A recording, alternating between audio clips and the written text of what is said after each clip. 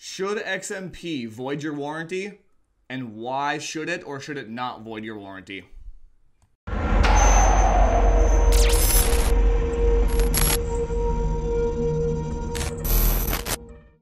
Hey guys, welcome to Frame Chasers. Today we're going to be discussing XMP. This is mostly in response to the JayzTwoCents video and the um, NZXT build and how they were saying they weren't going to warranty XMP in their own builds. Jay pretty much covered it mostly in his video, except there's one thing he said in there that I do not agree with when he said he's never killed a chip enabling XMP before which is which is possible. I mean, don't get me wrong, but there is a reason why the ma- most manufacturers don't warranty XMP, and I'm going to explain why and show you why.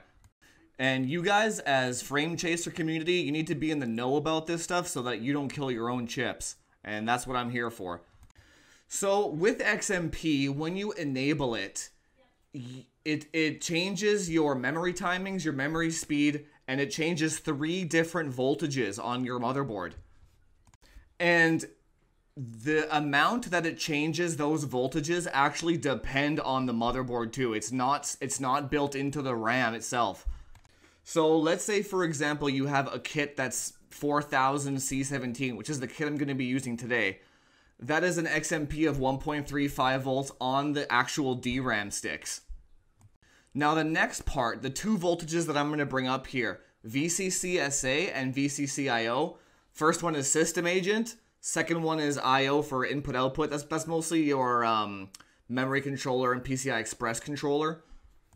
And what happens with those two is the motherboard manufacturer has its own algorithm or database of memory speeds and timings. So let's say, for example, you have 9900KA, 9900KB. The motherboard, well, most of them don't have a way to tell how good the silicon quality is on the memory controller. All they know is that the low, the crappiest chip that they've ever tested needed this much voltage to make it work. So then what you what happens when you enable XMP on this memory kit, let's say, it's going to say, oh crap, he has a 9900K, he has these memory sticks at this speed. To make sure that it works, we have to pump in 1.4 volt VC, VCCSA and 1.4 volt VCCIO. And that is why your warranty your warranty gets void. Those voltages will kill your chip over, over maybe within the year, I would say, depending on how high it goes. Now, is it the fault of the manufacturer, like NZXT? No. Is it the fault of the Ace of Asus or Gigabyte or MSI?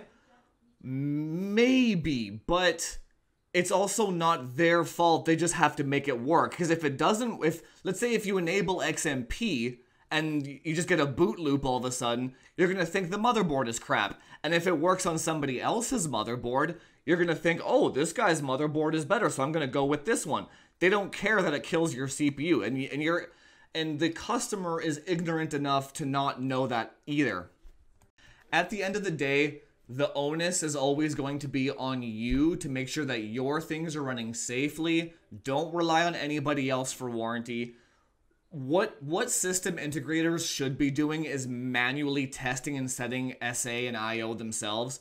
I know that would take a hell of a long time, but I mean, you guys got to do it if you want to warranty your systems. If even if like you know what I mean, if, if you're gonna pump 1.4 volts SA into a chip and kill it, you put the time, put the work in ahead of time to make sure you don't have a bunch of RMAs happening all of a sudden, right? That's what I do when I sell PCs. So anyway, quickly to prove my point here, I'm gonna take this, the machine I'm actually recording on right now and I I literally just tested it, and unfortunately, for some reason in hardware info and AIDA64, it doesn't actually show the VCCSA voltage on this one, but this is a 9900K editing box that I'm using as an example right now, and it for the DDR4 4000 RAM that I have in there, it only requires 1.15 IO and 1.2 SA if I enable XMP on this motherboard with these RAM sticks, it gives me 1.35 SA and 1.25 IO. And that's actually not that bad. I've seen much worse. Um, I think it's because it's a two DIMM board micro ATX or mini ITX that um, it doesn't need as much SA to get the higher speeds.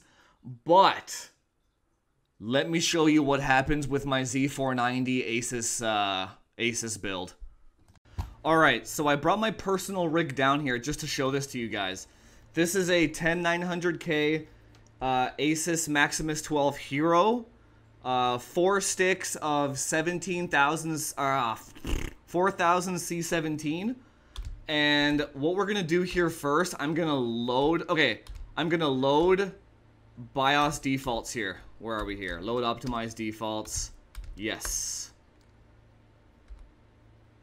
Alright. So all should be default now. Let's save and quit quickly. Save. Yes. Alright. Let's see what it gives us. Alright, we're coming back in here. Let's see. Everything auto, auto, auto, blah, blah, blah. So, the I.O. right now... Ah, I can't move the mouse right now. The I.O. right now is 1.056. Ah, oh, sorry, that's that's the IA. The the SA voltage. SA is 1.056. IO is 0.96.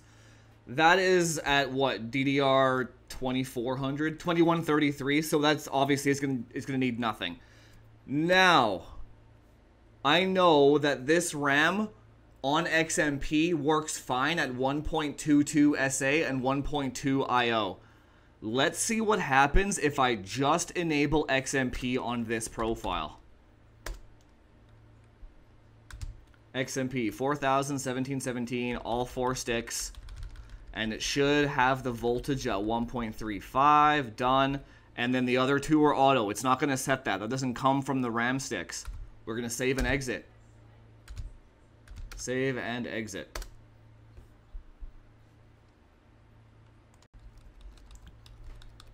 Booting back up in here. Extreme profile. So we're at RAM speed is 4,000 now. Everything else is still stock. Let's see what the voltages are.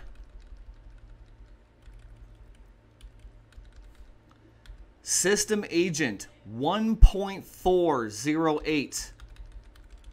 VCCIO 1.312. Asus this will literally degrade my chip in a year. Like, what, like, like, what are you doing? And this is why manufacturers do not warranty XMP. And I don't blame them. This is a shit show.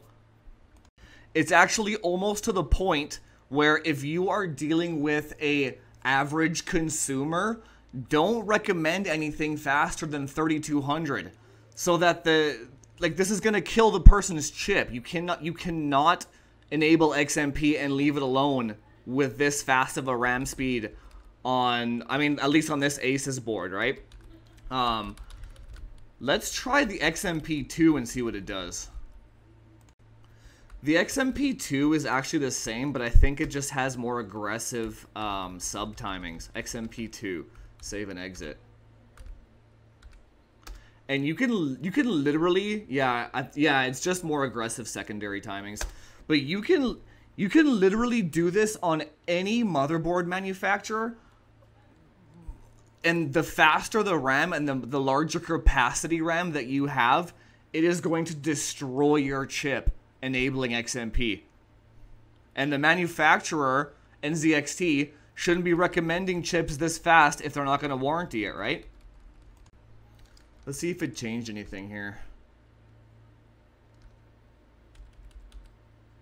Nah, same. Alright. So, yeah, 1.408, 1.31.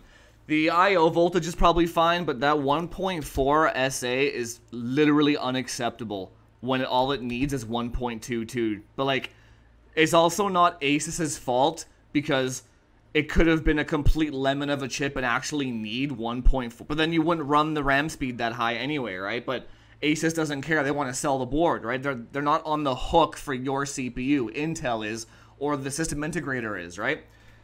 Anyway, so unfortunately, I don't have any RAM kits that are slower than 4000.